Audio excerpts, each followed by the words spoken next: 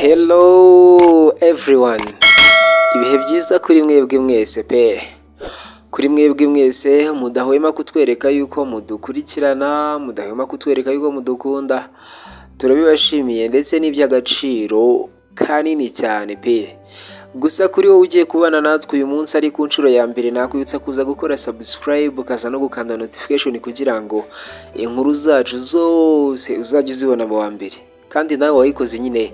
Ndagushimiye cyane. Mbahaye ikaze mwese. Uyu munsi tugiye kureba play yitwa Caucasian Joke Circle ni iy'umwanditsi bita Bertolt Brecht mbahaye ikaze mwese.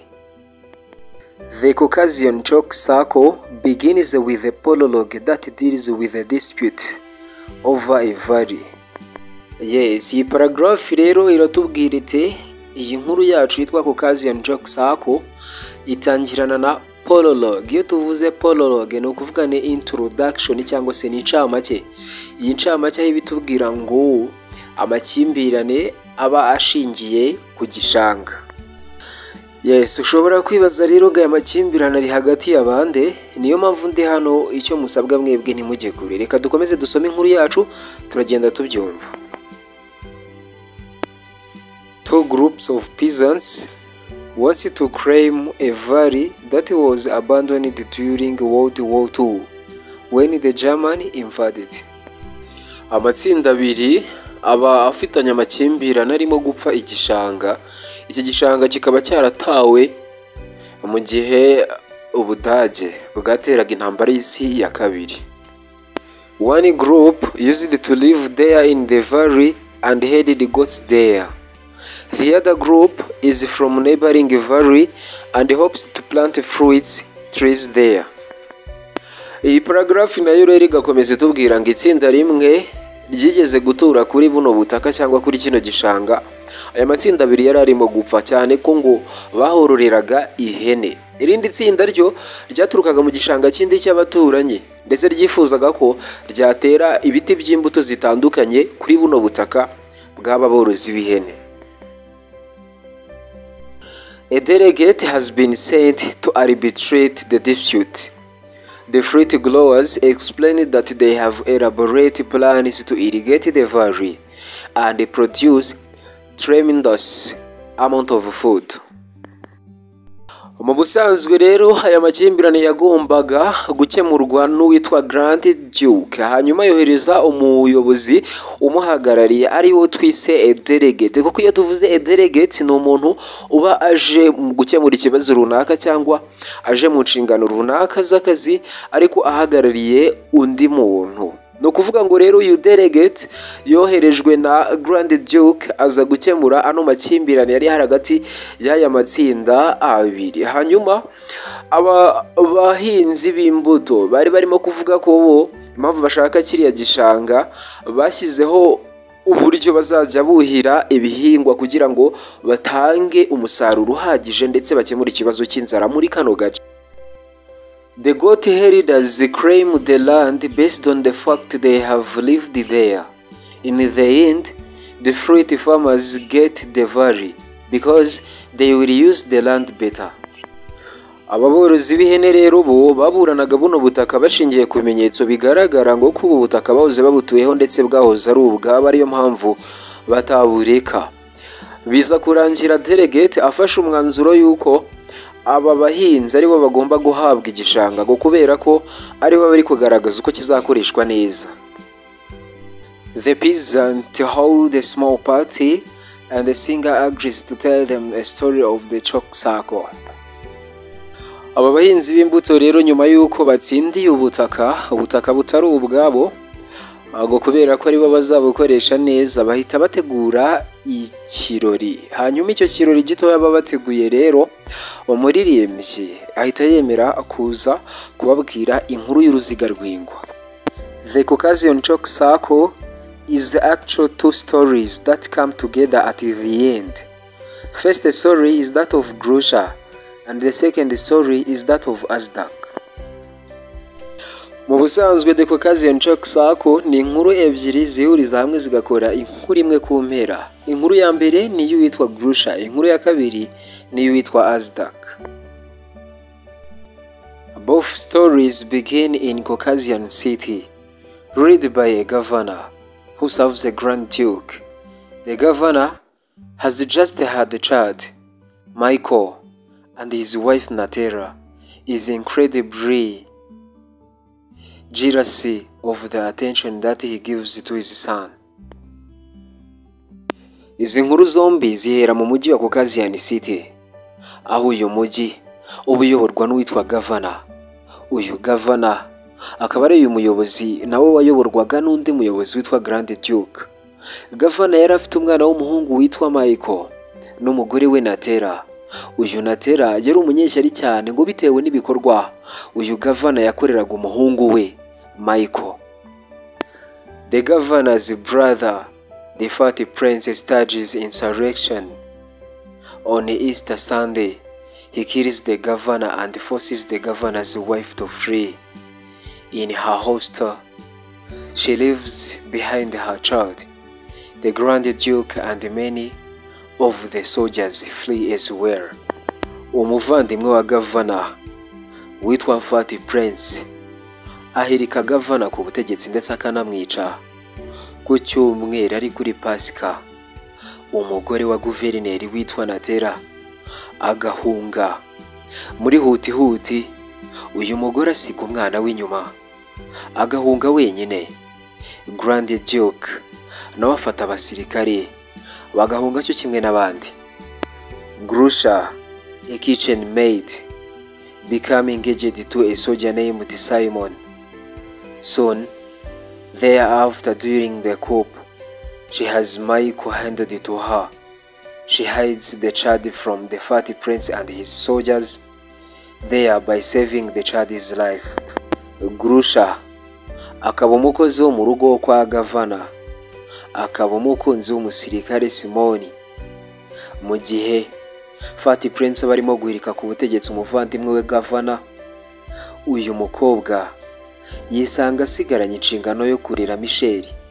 Nkwibutsa ko Michel aba yatawe na nyina umubyara Natera uyu mukobwa atabara ubuzima bwa Michel. Cyane ko abasirikare ba Fat Prince baba bari kumuhiga ngo nawe bamwice. Mu rwego rwo gutinya ko uyu mwana yazamara gukura agahorera urupfu rwa se.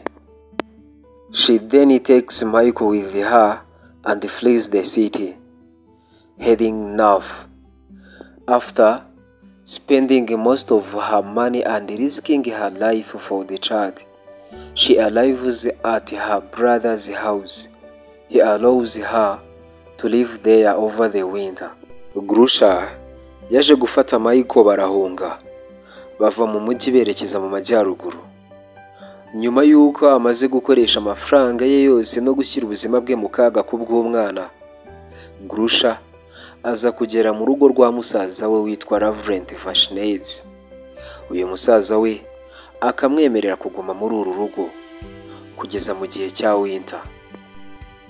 When spring arrives Grusha's brother forces her to marry a dying man from across the mountain. They hold a wedding, but during reception, the guests learn that the war is over and that the Grand Duke has raised an army and returned. The dying man, Jessup, realizes that he can no longer be drafted into the war. He miraculously recovers and throws all the guests out of the house. Mu gihe cya spring, musaza wa Gurusha ahatiriza uyu mukobwa gushaka gushakana n'umugabo uba ugiye gupfa ukomoka ku musozi wo hakurya. Mu gihe abashyitsi barimo kwiyakira, batangira kuganira ko intambara irangiye ndetse ko ngo Grand Duke yageranyije ingabo yagarutse.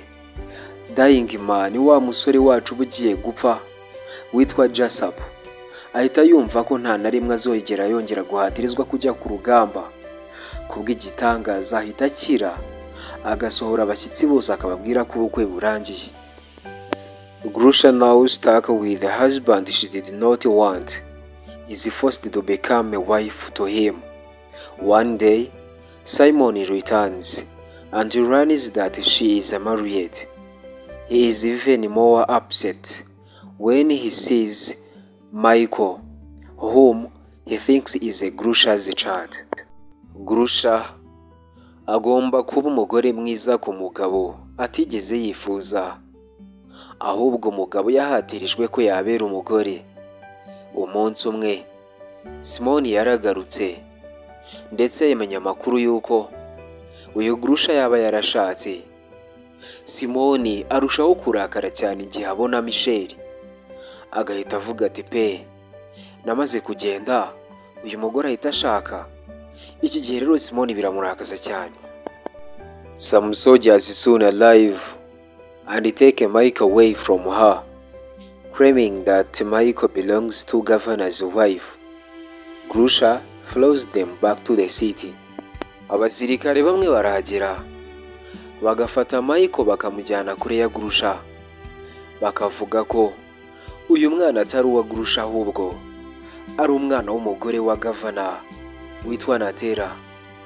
Grusha nawe abona asigaye nta mwana afite umwana yaruhiye kuva kera, akabona ntabwo yaguma aho ngaho, agakurikira abo basirikare bakagarukana mu mujyi. Inkuru yacu ya mbere muri za nkuru ebyiri zigize Caucasian Chalk Circle irangirira aho ngaho. The next story told is that of Azdaka. The plot returns to the night of the Fat Prince's insurrection. Azdaka finds a factive and saves the man's life. That man turns out to be the Grand Duke. Inkuru yacu ikurikira tubwirwa ko ari iyitwa Azdak. Uruhererekane rw'ibikorwa mu nkuru rugaruka kuri rya joro Fat Prince yiciyeho gavana. Azdak yabonye umugabo arimo kwiruka aramutabara. Uwo mugabo yatabaye ni we witwa Grand Duke. Realizing that he could be brand the traitor, walks into a town and reveals that saved the Grand Duke is alive. The soldiers refuse to believe him and he is released. Bitewe n'uko Azdak aba yatabaye ubuzima bwa Grand Duke, akeka ko bazamwita umugambanyi, agahungira mu mujyi. Ageze mu mujyi abwira abasirikare ko yatabaye ubuzima bwa Grand Duke, abasirikare bakanga kumwizera bakamureka ngo yigendere. The fat prince shows up with his nephew, whom he wants to make the new judge. However, he agrees to let the soldiers decide who the next judge should be. After staging a mock trial, they choose Azdak. Fat Prince agaragara ari kumwe na mwishywa we, aba ashaka kumugira umucamanza. Ariko yemerera abasirikare be ko baza guhitamo hagati ye na Azdak ugomba kuba umucamanza. Nyuma y'uko bamaze gukora igerageza ry'urubanza, aba basirikare birangira bahisemo Azdak kagomba kuba umucamanza. He then judges four very strange cases, ruling in each case in favor of poor person.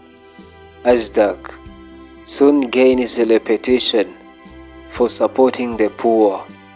However, after two years a judge, the Grand Duke returns. Azdak is arrested as a traitor by soldiers and is about to be killed by them. Noneho ahita akemura ibibazo bine bitangaje. Buri kibazo yakemuraga yagiriraga impuhwe abakene. Azdak ibi ngibi yabikuyemo icyubahiro gihambaye kubwo gufasha abakene n'abatishoboye. Nubwo byari bimeze bityo, nyuma y'imyaka ibiri Azdak ari umucamanza, Grand Duke yaragarutse. Azidaka abasirikare baramufata baramufunga bamwita umugambanyi kubera ibambe n'imbabazi yagiriraga abakene ndetse aba basirikare iki gihe bashakaga kumwica. However, The Grand Duke, remembering that Azdak saved his life, reappoints Azdak to be the judge, thereby saving his life. Azdak now take over the case of Grusha and the child. Nubwo byari bimeze uko nguko, Grand Duke yibukaga ineza yagiriwe na Azdak kubwo gutabara ubuzima bwe. Uyu mugabo yahise ategeka ko Azdak yongera kuba umucamanza kubwo gutabara ubuzima bwe. Azdaka nta kindi agiye gukora, agiye gukemura ikibazo cy'umwana ndetse na Grusha. The governor's wife wants Michael back because without Michael she cannot take over the former governor's estates.